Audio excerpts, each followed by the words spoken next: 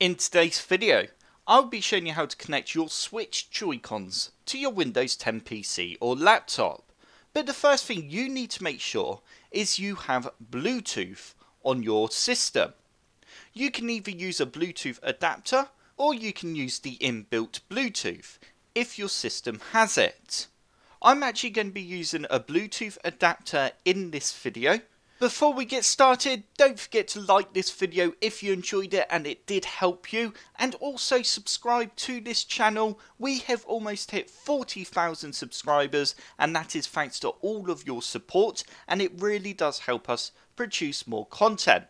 The first thing we need to do is right click on the start menu icon.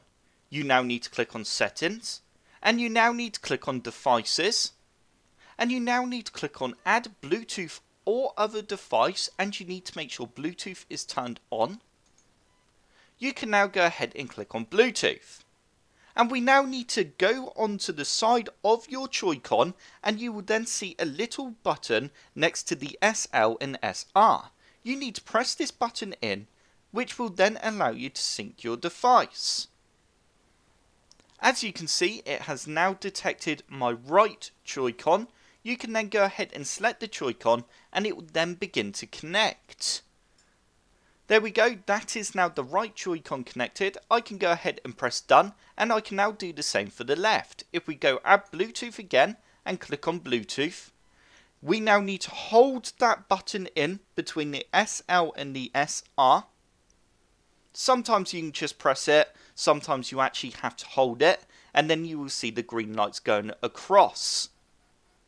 It will then detect the Joy-Con, you can then select it again, and it will then begin to connect. And as you can see, the left Joy-Con is now connected. And there we go, as you can see, both my Joy-Cons are now connected to my Windows 10 PC.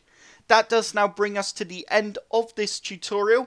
I hope it did help. Like I said at the start, don't forget to like this video if it did, and also subscribe for more computer sluggish tutorials.